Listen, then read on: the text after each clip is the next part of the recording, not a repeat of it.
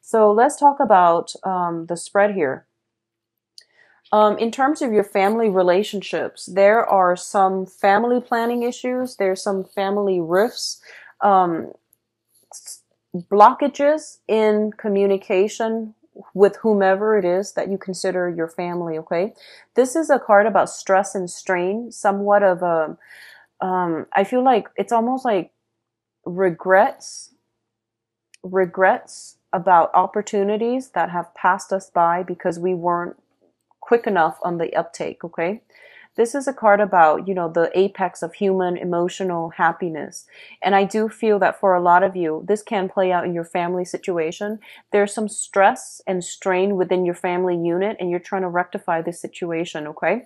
And I feel that there is an impasse. There is somebody within your housing, within your family unit that is creating some type of discord within the, the relationship. It's sort of like both people are working at cross purposes with one another and there's a stalemate. There is a um, a lot of difficulty in moving forward and moving forward as a unit. So I do feel that it's um, it's creating a lot of discord. It's creating a lot of anxieties and a lot of is bringing about a lot of sadness and regrets. So this can play out, for example, if you're like um, if you're younger and you're watching this and you're still living with your parents, there might be situations in which family, like parents, are bickering, or they they might want to you know uh, seek separation, or there's something like that. There's some disjointed um, communication or there's some like talks about breaking up the family unit, okay?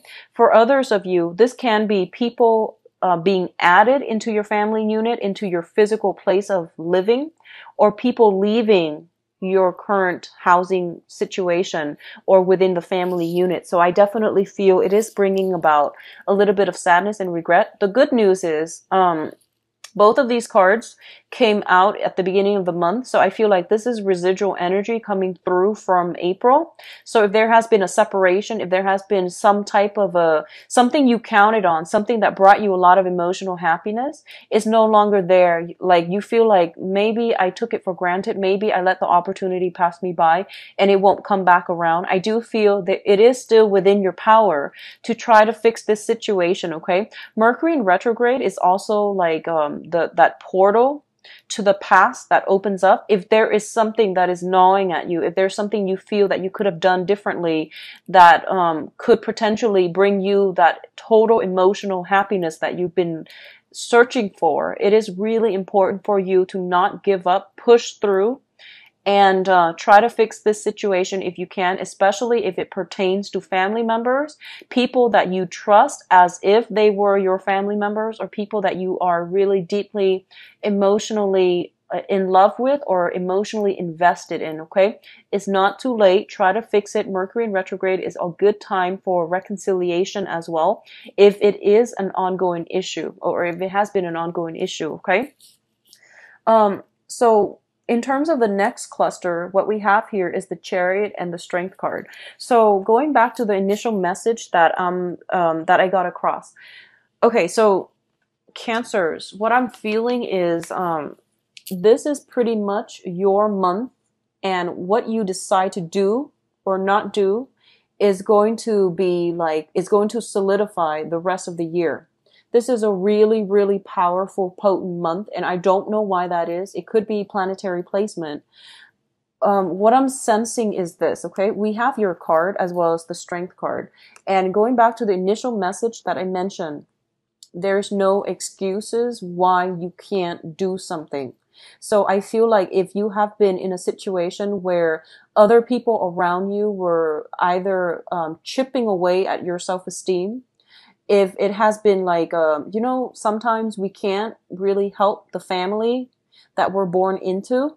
Sometimes we can't help the types of parents that we have. We can't help the siblings that we, we have. We can't help who is going to be in our family unit.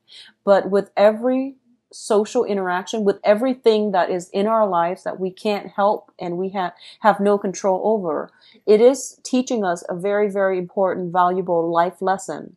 So simply one of the lessons might be you know try to let go of things or people that are not good for you. If you can't fix it let it go all right? So that's a major major life lesson that comes through for a lot of scorpios this month um, Pisces as well, I feel. Sagittarius, strongly Sagittarius, because they're having their, their Saturn transit right now. And also with you, because, you know, um, I, I feel that letting go has been a, a major issue. But the other thing I'm sensing is you might be i feel like for some of you you might be have been brought up in a house environment where it's like a very negative attitude where it's like oh don't strive for more don't persevere don't fight for things. We need to know our station in life but the point here is that you have immense power of manifestation and the universe is forcing you to push through it okay? So whatever obstacles are standing in your way it's there, it's created by that mental energy where you feel as if you're not good enough, where you feel as if, oh, somebody has already blocked me out.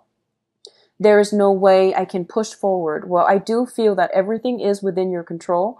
What you do this month is actually very, very important. What you do or don't do is going to solidify, cement the relationships or whatever energy is coming through for you for the rest of the year. So I feel like it is really, really important for you to push forward, persevere, push a little bit harder, and you're going to get the outcome that you want. So this is a card about victory through much struggle. Okay.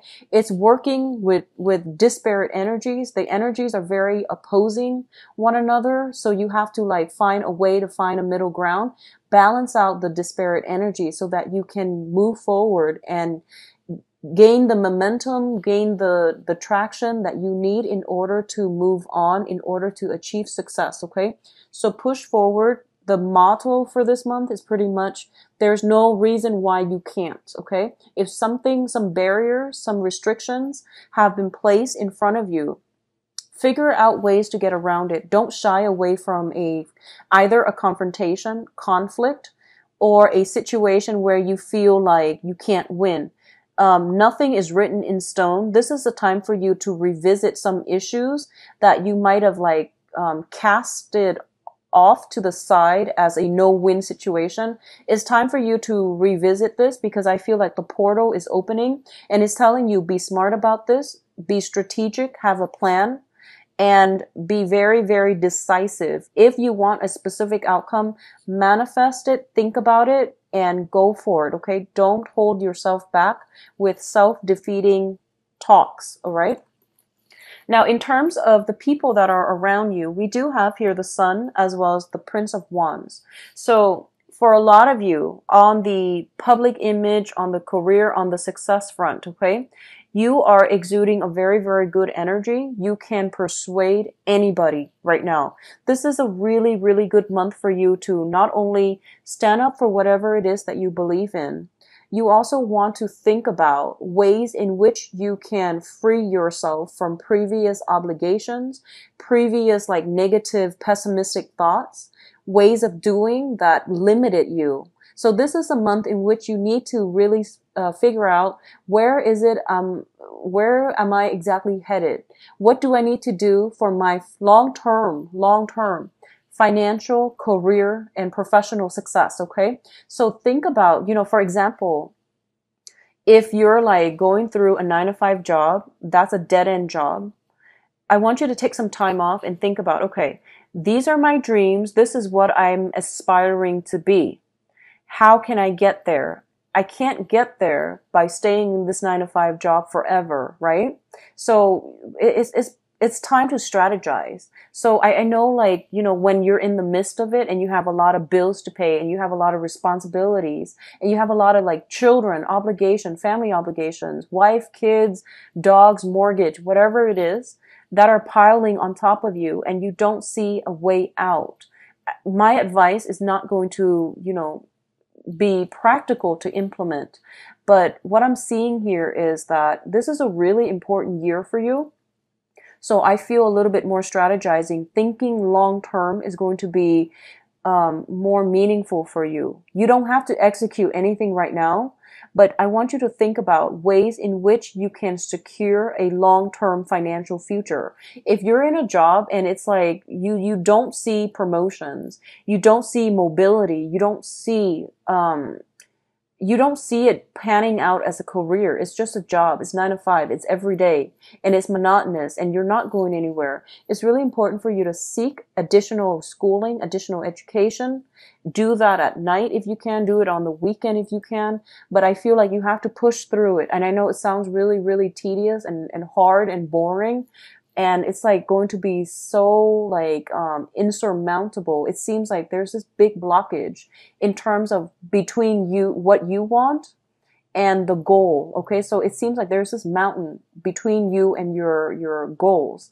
So we have to plan things long term things are not going to come by and they're not going to be achieved overnight but anything that's worth doing it requires a little bit of a game plan. It requires some strategy and it requires you having the guts to go for it. Okay. So I feel like it's not just about guts. It's about long-term planning too. But I feel for a lot of you, there has been some money issues. There has been some grinding away, you know, trying to uh, create financial stability. And it's not only financial stability that you're seeking. You want a job that is uh, self-esteem boosting is what I'm feeling. It's not just about the money. You want a job that has a, a good title. So you're very status conscious and there's definitely nothing wrong with that. You want to set clear goals for yourself. You want a big office. You want, you know, like a nice view. You want a status that matches your credential, that matches the skill set that you you value about yourself okay so if that is something that you want if it's not just about the money you have to strategize and try to get yourself there but i feel like in the past, there's this self-defeating talk that you talk yourself into and it prevents you from achieving your dream. So I feel like this is a really good time. It's Mercury retrograde. It's not a good time to act, but it's a good time for you to slow down and for you to think about long-term career goals, professional life, like what it is that you can do to give yourself a leg up, okay? Um, once you are able to do this, you're going to have a lot of success, okay? I do feel for a lot of you in the work front, you're traveling again. You're traveling so much again. So the chariot is a travel card. The prince of wands, this is like the knight of wands, traveling. You're dodging from one place to the next and you're not getting enough sleep either it, this is this came up in March and it came up it's coming up again. So once again you're shuffling around, you're not happy. You're trying to make ends meet, you're trying to create something, but I feel like there is an easier way to do this. So I'm getting like same exact energy. The chariot card, you're traveling all over the place. You're like hopping hopping around. You're not getting very much sleep um, you're trying you're like trying to to prove something i feel and you know you don't need to prove anything to anybody except yourself so figure out what you need to be happy work towards that have a game plan okay um, now there is some clash of wills here is what i'm feeling so the king of cups is your card and the prince of swords this is the knight of swords is another person's energy and I feel like this might have come up last month too. So you're dealing with the residual energy. Okay. So for a lot of you, there, I feel like this is more in the love relationship department, and we're going to try to flush this out in a little bit with the love reading. But what I'm feeling as well is um, there's a clash of egos, there's a clash of wills. First of all, you have an air sign in your midst, and air signs are Aquarius, Gemini, and Libra. And um, I feel almost like this is you, the King of Cups, Pisces, Cancer, Scorpio, but I'm reading this more as you. You have love and affection, and you know, you want to take care of somebody. There is somebody in your life that you really, really want to take care of. And I do feel as well, um, there, I feel that they do care about you, but I'm, I'm seeing like a lack of communication. I'm seeing an impasse happening between you and the other person. I'm seeing as if, you know, you, you want this person, but you're not making the moves. So the, the king, he's a very receptive energy. If you look at the way he, he's, um, he's situated and just like the demeanor and the energy I'm picking from this card, this is you potentially wanting a person in your life, but you're not taking the steps to show them that you're interested, okay? Their attention is fixated on something else or some on somebody else. And air signs are very, very like um, they're they're very analytical. And um, so what I'm feeling is they won't know that you're interested until you let them know. And in the meantime, they're caught up with a gazillion things that are going on in their own life. So if you're waiting on communication, you know, earlier I mentioned there's waiting on some communication. Um, you have to be the first one to take the initiative. Otherwise, I feel that everything gets lost in the shuffle. They're bouncing around. So the Knight of Swords is the fastest moving knight in the deck. If you look at the traditional Rider Waite deck. So they have a gazillion things on their mind. They have like a million things that they need to take care of through their everyday, you know, trying to survive, trying to, to get through life. They tend to be a little bit forgetful. They tend to be a little bit curt with communication. So I feel like you might need to be the one to step out of your shell in order to forge ahead with the other person. If you are somewhat linked in with a water sign, so this is um, another Cancer, Pisces, or Scorpio, if you have somebody like that in your immediate environment and you're waiting on communication from them, for example, I do feel that in that case, if you're then the energy is reversed. You are I feel like, okay, so if you're dealing with a Pisces, Cancer, Scorpio, I feel like they have sent you some communication, but you were like traveling, jumping around, going, like hopping from one place to the next. That communication has um, either been delayed, you might not have gotten like uh, internet or either internet or uh, cell phone reception in order for the messages to come through. So I feel like there is some blockages in communication, either messages not getting through or you're butting heads with another person. You say one thing, but like the message is not getting through the, to them.